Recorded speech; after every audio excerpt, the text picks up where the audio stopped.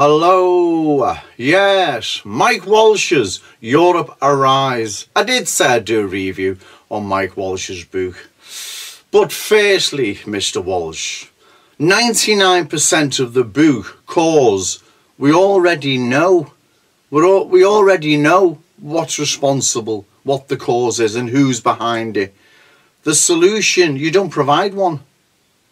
I was looking through the book thinking I'd missed it and all it consists of is joining protest groups, writing to newspapers via the internet, women's self-defence and don't talk to the police.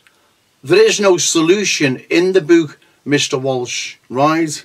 I'm afraid you're probably still living in the 70s a bit. I don't say that to be disrespectful to you, far from it.